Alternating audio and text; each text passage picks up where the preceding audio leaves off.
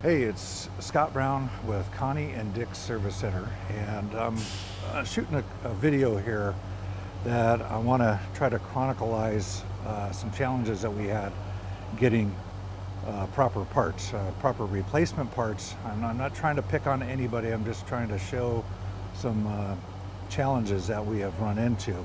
And what I'm working on here is a really clean 1987 Ford Bronco, uh, five liter. This is an EEC4 vehicle. And um, basically what happened here is that this vehicle uh, was brought in for intermittent stalling complaint and it uh, we ran uh, diagnostics on it and it had a continuous code 14 which is a PIP signal and if we go over to the computer here and we go to service information and we look at what the spout pip and spout is so pip is basically our like crankshaft reference signal goes to the PCM and then we have spark output uh, that is the timing modifier signal that goes to the ignition module. And of course, the ignition module has control on, uh, controls the primary circuit on the, the coil uh, to control spark. So we ran a few checks. I looked at the PIP signal and it looked okay on the scope, but uh, the car's an 87. It's got, um, I don't know, well over 100,000 miles on it. So I had fortunately had a new distributor. I had a new factory Ford distributor and we opted to replace it and the new Ford distributor does not come with an ignition module. So we ordered up a Motorcraft ignition module, and this is the module that we received. And put it in the car, ran it, drove it quite a ways, uh, gave it back to the customer. Customer brings it back, says it's stalling intermittently. So um, we start looking at it, and um, we can. I scoped it, and we could see that the the spout signal was reaching the module and the module was stop, stopping.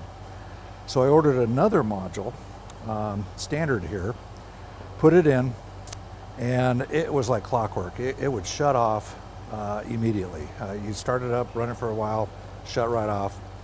And what I did, you know, I had it had it hooked up on the scope, and here's here's our channels here. I just want to kind of go over this.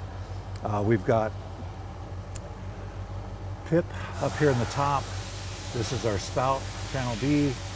Uh, C is our primary ignition, and then D we're looking at uh, current current on the uh, primary coil here.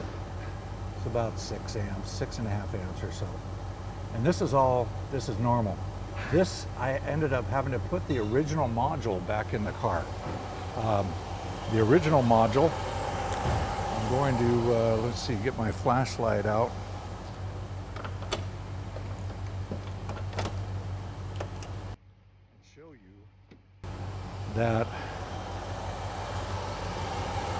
the only reason I elected to replace the module is because somebody had fried on that module at some point, uh, and they had damaged it on the outside. But uh, put, put the old module back in and it's been running fine uh, for quite some time. So what we ended up doing is we went to eBay and found some new old stock and this is the part that we got. Now we used to stock these DY425A.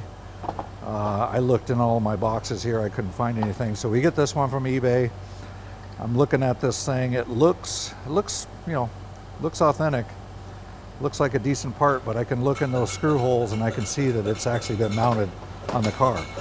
So what I wanted to do in this experiment here is I'm going to go ahead and reinstall this Ford Motorcraft replacement module. This is the one you, you can get from your Ford dealer or from your warehouse distributor. And I want to run the car and I want to show you on the scope what is likely to happen. And if we go, I'm going to stop the scope here. And one of the, a couple of the things that I noticed was the control circuit on the primary. Okay, and so we're going to just zoom in here on the primary and uh, we'll have a look. You see the turn on and off there? Look at that. We zoom in, that, that looks pretty clean. That looks like a nice clean switch. So that's where part of the work is taking place. Um, The other section that's doing work is this current limiting section. You see that there? Uh, current limiting, looks like it's regulating that, it's pulling the voltage down to about oh, 9.8 volts. And I'll pull this cursor down so we can see, there's our open uh, charging voltage, right? And then if we look at our switch here, where we release and let the coil fire, you see that that's a pretty nice clean switch there, okay? So we're gonna zoom back out. So I wanna show you that this car, when we put the other modules in, you'll see that there's definitely a signature change here, the, the way that the control circuits are working. And so that could be a telltale sign for you uh, if you're replacing a component. Um, you'll want to kind of check that out and make sure that you know how to make it work.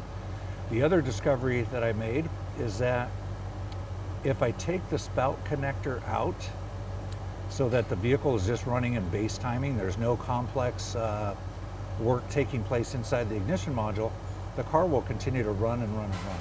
And so right now this car has been idling here for probably about 10 minutes or so and usually it would stall within, you know, within five minutes. So I'm gonna go ahead and stop the camera here. I'm gonna go swap this module out and then um, we'll connect back up here and uh, carry on.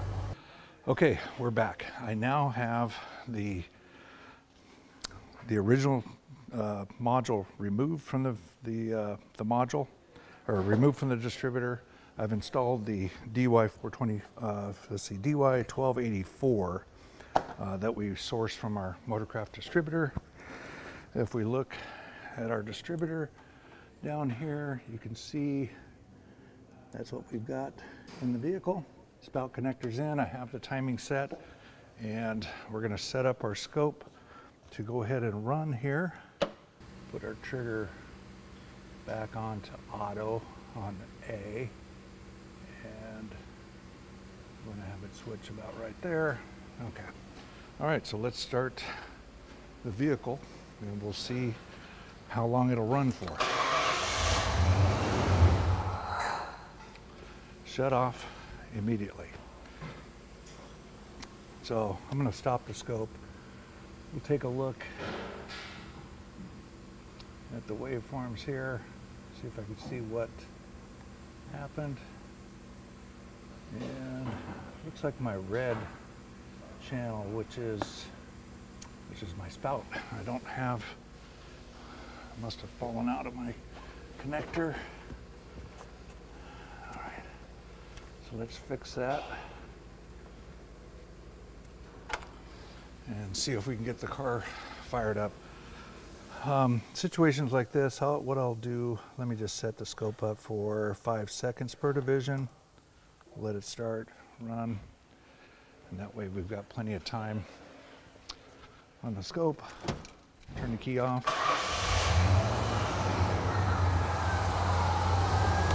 All right. It's running. Doesn't look like I've got channel B. Oh no, it's working. Okay. All right. So we'll just sit here and wait for something to happen. and hopefully it's not going to make a liar out of me and uh, never stall but uh, confidence is high it's going to quit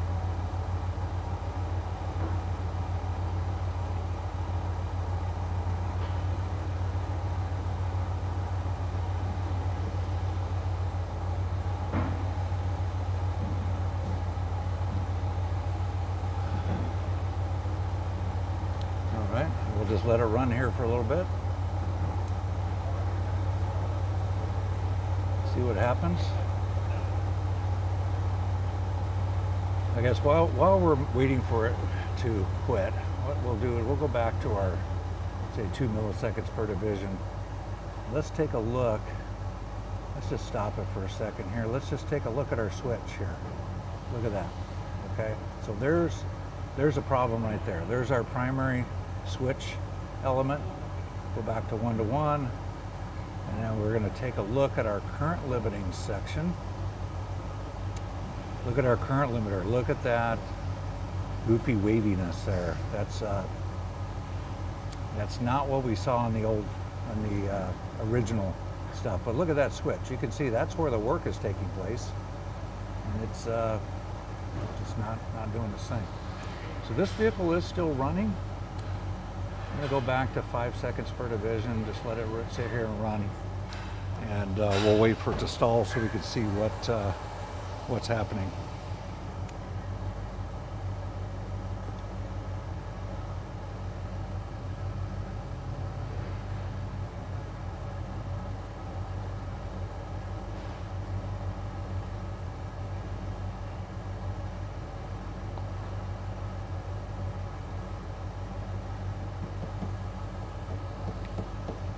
Couple of other things to note here is that um, when we did have it stalling, uh, in fact, let's just look up a uh, one that I saved before. I'll just open up a file here.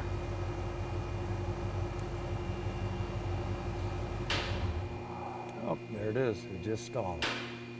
Yeah, I'm going to go back to our scope.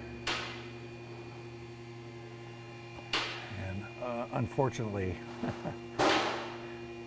looks like what we've got going on here is that, see, we still had a pip signal coming across, um, but uh, I did, didn't see the spout, looked like the spout signal. Unfortunately, it, it went off the screen. Now, if I go, if I try to restart this vehicle, keys in the run position, I'm gonna go ahead and crank it, and I'm gonna push my red probe back in there, make sure it didn't fall out.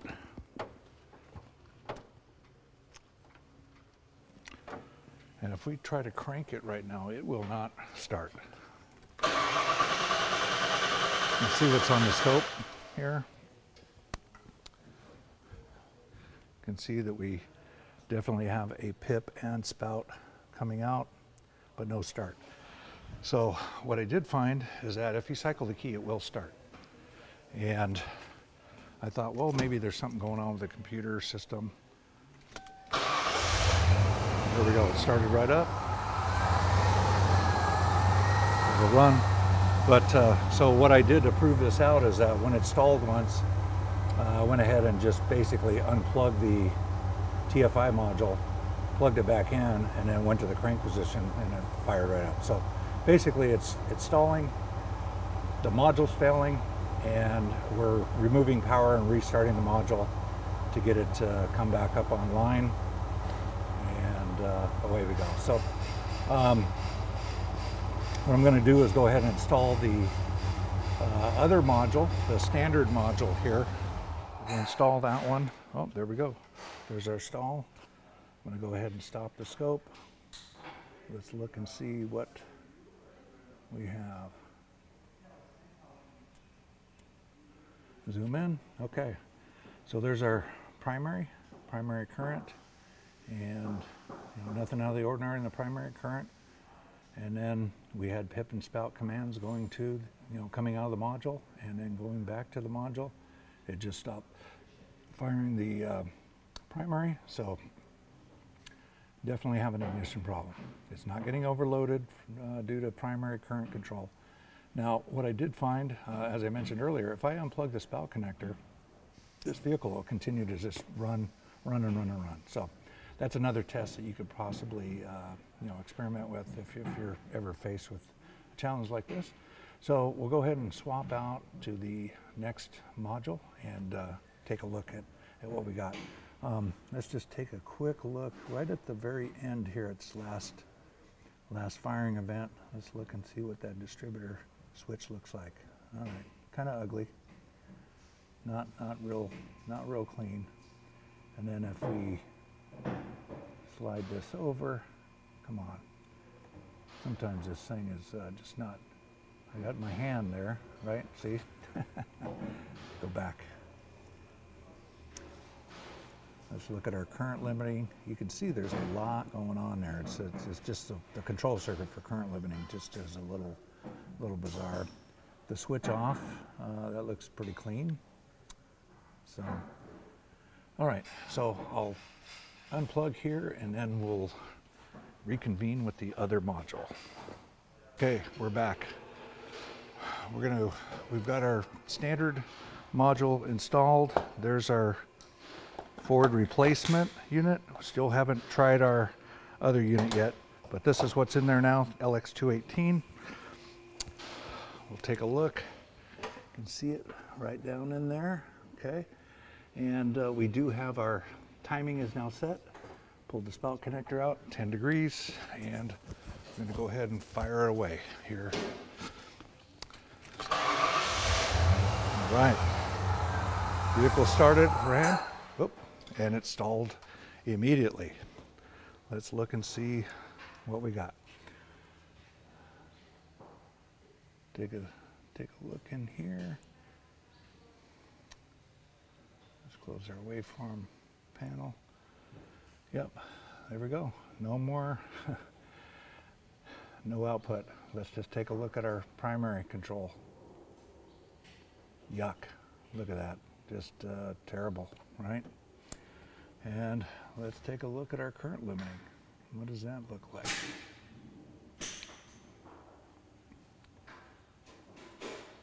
So, yep, we can see there's definitely some current limiting going on there. Does look a little goofy. Let's go back here. Zoom in a little bit further. Yeah, so it's a little bit different than the uh, Motorcraft module. Uh, a lot going on in here. We zoom way in, yeah, you can see all the switching that's going on here. We're, we're at a decent sample rate, uh, 1.25 mega samples per second. All right, so clearly um, this, this module is not doing its thing, right? We can all agree we're receiving our commands to fire the module and no activity.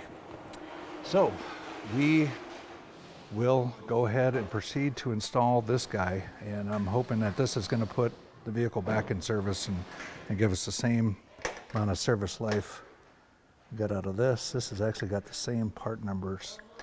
Uh, a little bit different on this bottom piece here, but uh, I have high confidence that this is going to work, but I have not seen this run yet in the vehicle. So we'll go ahead and swap that guy out and uh, get it back up on running here in just a second. I'll be right back. Okay, last module is in. We've installed the new old stock DY425A. Look at that. Even came with the dielectric grease, but I use my use my new stuff and the instruction sheet, which has a date of 8 of 85. Okay. So uh, just to prove out that we have that part installed, you can see it right down in here. This is our new replacement module. I've got the timing set back right to 10 degrees and we're, we've got the scope running and we're gonna go ahead and start it.